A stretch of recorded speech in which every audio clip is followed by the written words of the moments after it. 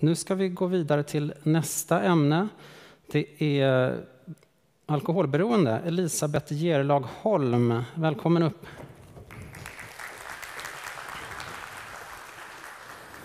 Hej. Hej.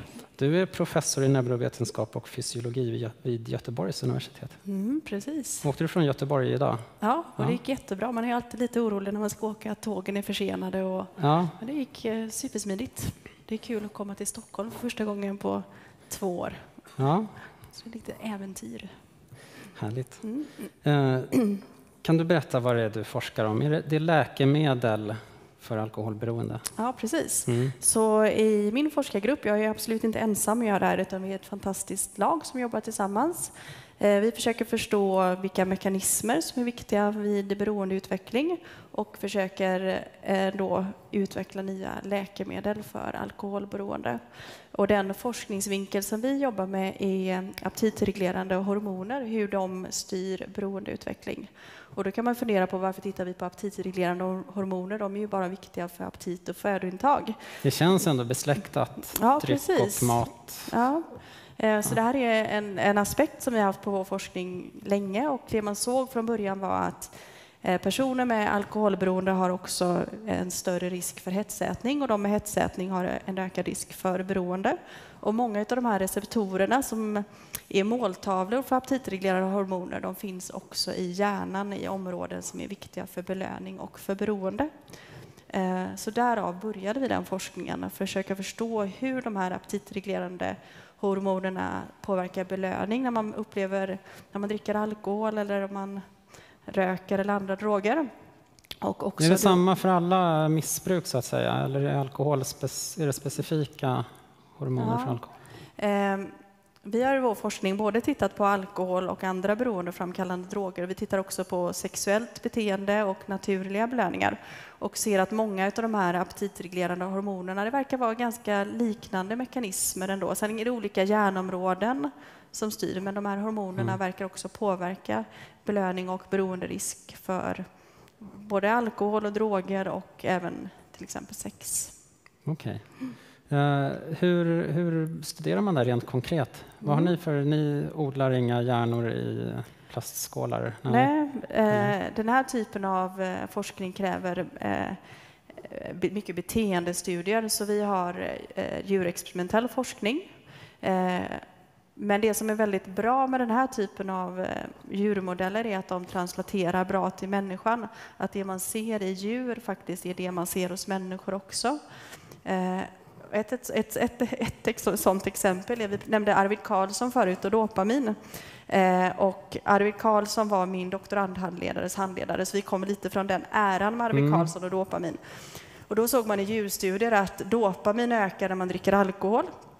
Och sen så har man då i människor nu på senare år med de här avbildningsteknikerna sett att det händer också i människosituationen. Så att man kan överföra det man ser i djuren ganska väl till människosituationen så att man då faktiskt kan hitta nya läkemedel till den här gruppen av människor som har ett beroendeproblematik. Hur ser det ut med beroendevården? Att, är, är det mer läkemedel nu för tiden jämfört med KBT eller annan terapi? Och så? Läkemedel är en ganska liten del av alla med beroende som får. Ehm, en väldigt, väldigt liten del. Och det beror mycket, och dels, dels så tror jag att man ska tänka på det att läkemedel kommer inte kunna behandla alla med alkoholberoende, utan man måste kunna ha sociala interventioner, psykologiska interventioner, men läkemedel måste också finnas där som en stöttepelare. Mm. Eh, och sen är det ju ett problem idag att synen på alkoholberoende är så stigmatiserat i samhället att många personer tycker att man har ett karaktärsfel, man är en dålig person för att man dricker och att man bara kan sluta. Men för väldigt, väldigt många personer kan man inte sluta. Man brukar se alkoholberoende som en pyramid, så här att det finns de, den gruppen som har ett alkoholberoende som man kan lära att, eh, hur mycket man ska dricka och kontrollera sitt drickande. Och då kanske man inte behöver gå in med läkemedel. Men det finns även många i den här trappan som har ett sånt allvarligt beroende så man kan inte sluta. Eh, för de kanske inte hjälper med KBT eller kontrollerat drickande utan man måste också ha då olika läkemedel. Eh, och idag finns det ett antal läkemedel, men de fungerar inte för alla, så vi behöver fler då. Hur är det med beroende och missbruk? Är det samma sak? Eller? Man har tagit bort missbruksterminologin för några år sedan. Varför då? Ja, därför att men nu har man en bredare terminologi, det heter substansbrukssyndrom. Den är lite krånglig den termen, men där ingår både missbruk, kan man väl säga, att man har ett lättare alkoholbrukssyndrom, eh, kanske mer överför till ett missbruk, och sen har man då mellansvårt och ett svårare. Mm. Ehm, så att jag blir nyfiken på när du pratade om, man förstår att alkohol och drog, andra droger och mat är lite samma liksom saker man konsumerar, men att, att sexmissbruk eller shopping och sånt och spelmissbruk, är det också samma mekanismer i hjärnan? Och det är någonting man debatterar väldigt, väldigt mycket idag. Vad ska inkluderas i beroendeterminologin? Så idag ligger ju spelberoende under beroendediagnosen och sen diskuterar man mycket mat. Och när det är mat som alla kanske har som socker och sockerberoende, det har heller inte definierats som ett beroende, utan det många forskare tror är att kanske är hur man äter, att man har en hetsätningsproblematik, det är kanske det som är beroenderisken.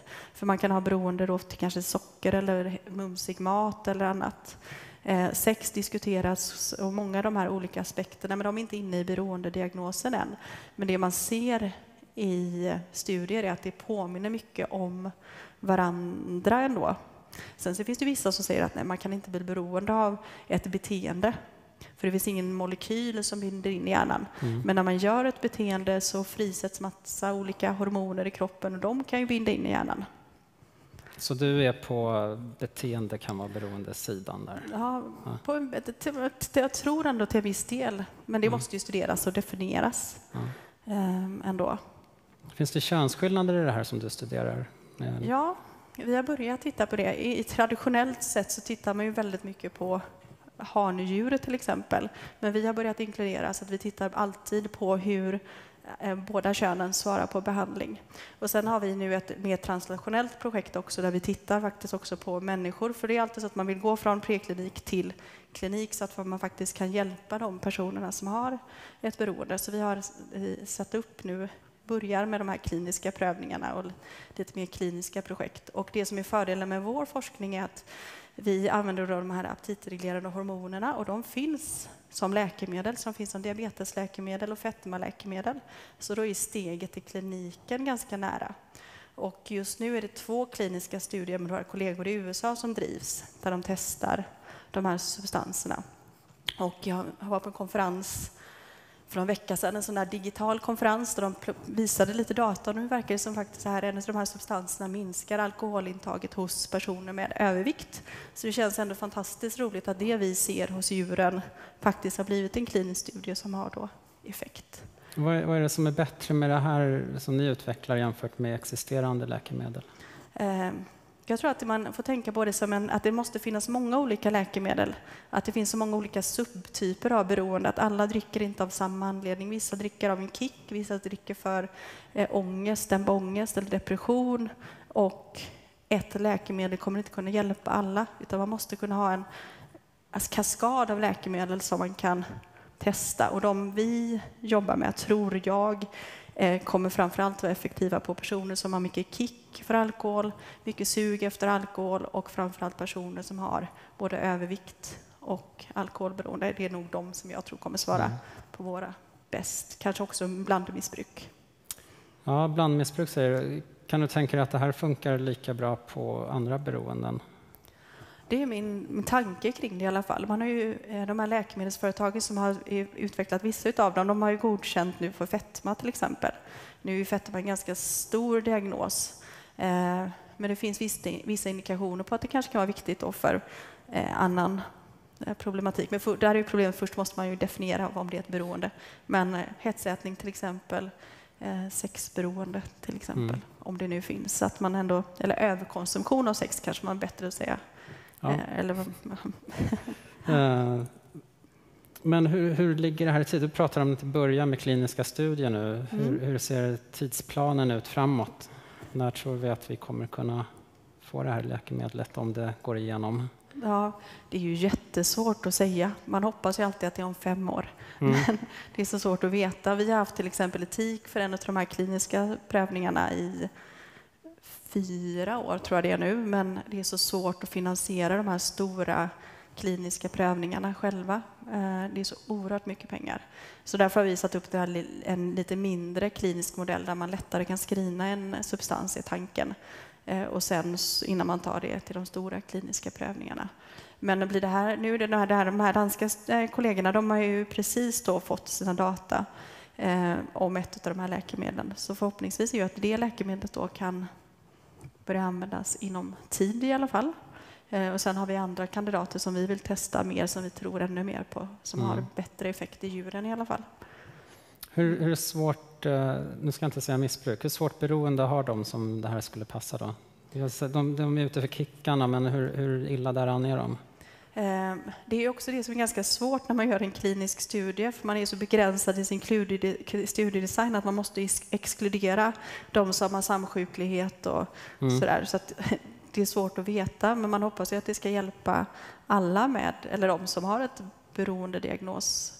Eh, och jag tror man får testa sig fram att okej, okay, den här patienten svarar inte på det här läkemedlet och testar man något annat, lite som man har högt blodtryck. Mm. Testar man ett läkemedel, nej det fungerar inte, och så lägger man till något annat, testar något annat. Men inom beroende är det traditionellt sett idag att man testar ett, så tänker man, att den personen svarar inte, och så testar man inte något annat. Utan mm. man måste våga testa olika läkemedel. Ja, hur kom det sig att du började forska om beroende? Ja, eh, och det är en ganska lång historia egentligen, så vi får resa tillbaka i tiden. Vi ja. kanske inte har en lång historia. Ja, men vi har några minuter på oss faktiskt. Ja. Den är inte så lång. Men det var, jag har ju forskat på beroende sedan jag gjorde mitt exjobb, så det är ju 19 år sedan. Mm. Ehm, så när jag var pluggade, det är en utbildning som liknade apotekare, så skulle fundera jag på exjobb.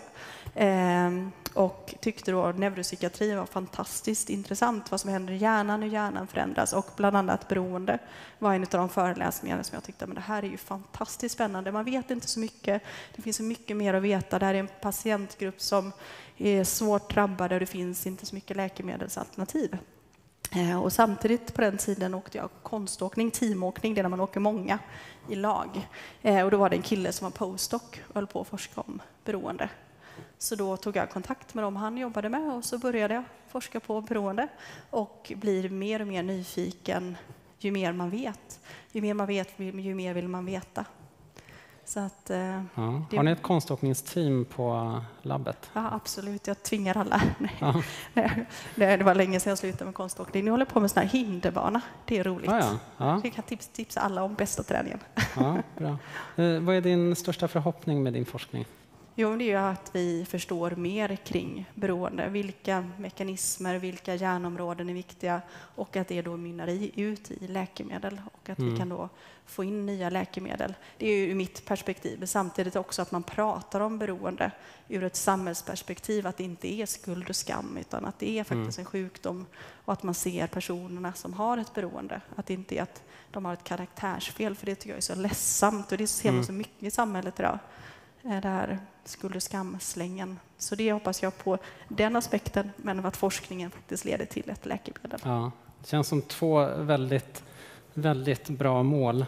Eh, tack så mycket Elisabeth. Tack så mycket själv. Ska tack vi försöka få isär de här? Oj, så, där Tusen tack. tack.